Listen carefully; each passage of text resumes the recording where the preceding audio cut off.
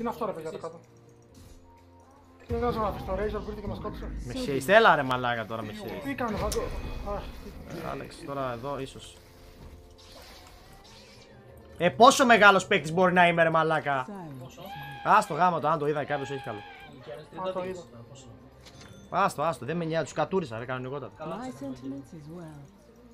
What? Ε, τα runes δεν πάνε.